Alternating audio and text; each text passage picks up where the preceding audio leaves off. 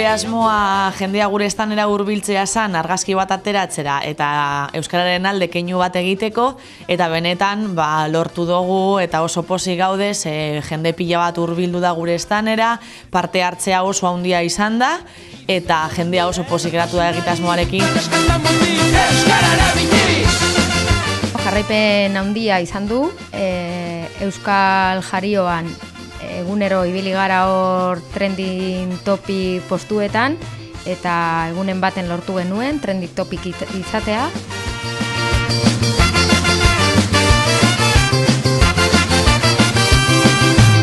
Kontutan hartuta aurten e, asoka e, igande baten hasi dela eta ustegu baten bukatu dela, ba, lehenengo eguna espero genuena baino parte hartze aldetik agian bajutsuagoa izan da, astelena ikastetzen eguna izan da, eta ume pila bat etorri ziran, eta ba, gure kasuan ez dugula eser saltzen, ba, egun oso jendetsua izan zen, aste azkenarekin batera, batera eta aste artearekin batera, eta gero osteguna nola azkenengo eguna zen, eta jai eguna zen ere, azkenean esan daikegu egun guztiak izan zirela, guretzat behintzat oso jendetsuak. Azpimarratu nahi genukena ere da, ekimen honek balio izan duela, jendeak jakiteko Twitter erabili daitekela ere euskaraz, batzuk ikasi dute zer den Twitter ere. Gure estana azkenean ba, da hurbiltzea, ba, oparitxo bat hartzea, argazki bat ateratzea eta horretarako ba, jendea beti prest dago.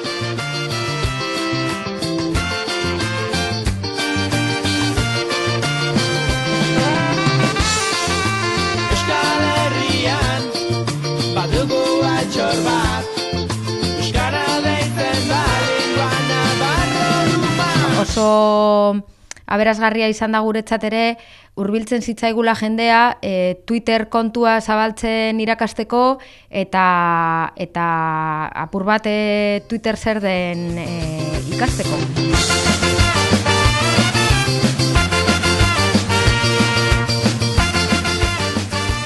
Bitxikeri nahikotxo gertatu dira. E, adibidez, ekoiztu genituen mila USB baino gehiago bakarrik argazkiak ateratzen e, zutenei emateko eta lau egunetan agortu genituen.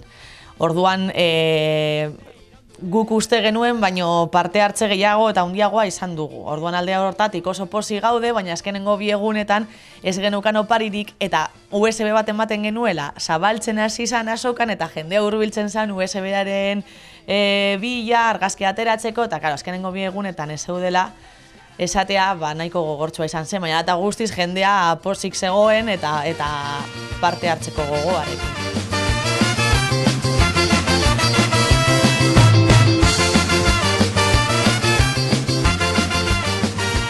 Hasiera baten geneukan asmoa e, guztiz bete dugu, guztira saspireun argazki baino gehiago atera ditugu, eta kantutan hart, kontutan hartuta argazki bakoitzean batez beste hiru pertsona agertzen zirela, kalkulatzen dugu 2000 eta bosteun pertsona inguru hurbildu direla gure estanera.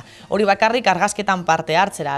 Keinu original nahikotxo dauzkagu. Momentu honetan, ja, behin pasatu eta argazki guztiak berigatzen ari garela, esan daikegu jende animatu dala eta hasiera baten ba nahiko ba normal jartzen zirena, gero berriro hurbiltzen ziren beste argazki bat ateratzera eta eta argazki oso politak ditugu. Euskal Herrian, badugu bat, Euskara deitzen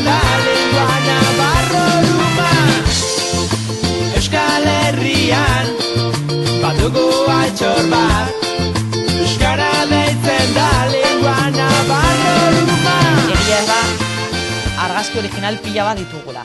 Orduan, momentu honetan ari gara, ba, berrogei argazki inguru hortan, ba, erabakitzen zeitzuk diren originalenak, eta espero dugu, aste honetan e, ukitzea ja irabazlea. Sare sozialen bitarte emango dugu ezagutzera, berarekin jarriko gara kontaktuan, ba, jakiteko eta emetik pasatuko da ba, bere oparira jasotzera. Batuko antxor bat, herria biotean eta euskara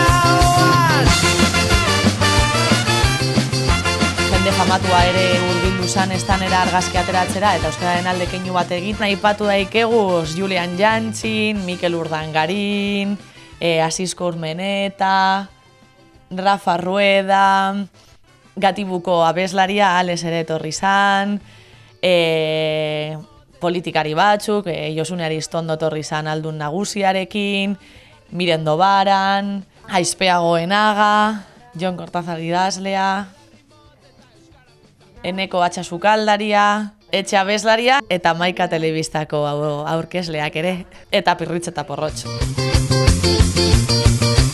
Bide batez aprobetsatu dugu beste egitasmo bat aurkezteko, e, klikasi multimedia gunea beste programa batzuetan azaldu izan duguna, Gabia gunean euki izan dugu aukera itxalditxo bat emateko eta bertan egon ginen ba, egitasmoa azaltzen eta eta baliaketaren oinarriak pizka ezagutzera eramatera, eramaten eta gainera e, astelena izan zen ikastetzeen eguna, orduan bide batez, aprobetsatu genuen bertan zeudela ba, ikasle eta irakasle nahikotxo eta bi, bi begiralekin batera ba, egitasmoa zabaltzen egon ginen. Eta egia esan, ba oso posi geratu ginen, ze mila eta bosteun esku horri genituen, danak banatu genituen, jendea oso posi geratu zen egitasmoarekin, eta oso leku, una, leku ona izan zen egitasmoa ezagutzen eramateko.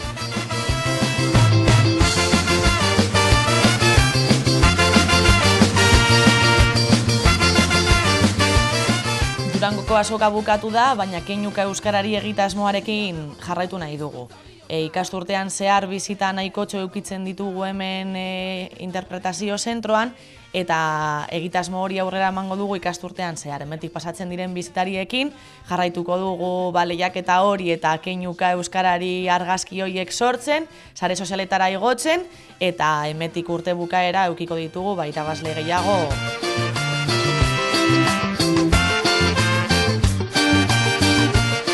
Orokorrean jendearen berotasuna somatu dugu eta oso polita izan da egitasmoa. Amaika telebistak ere, keinu bat euskeraren alde. Hori da!